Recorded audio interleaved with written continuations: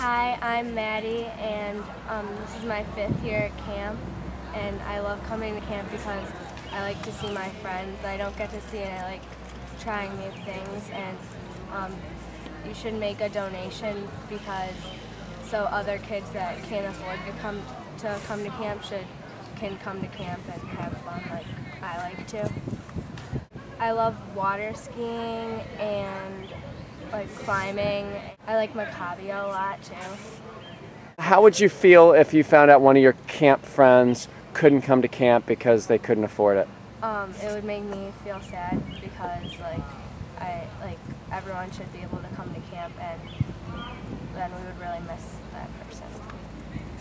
Okay.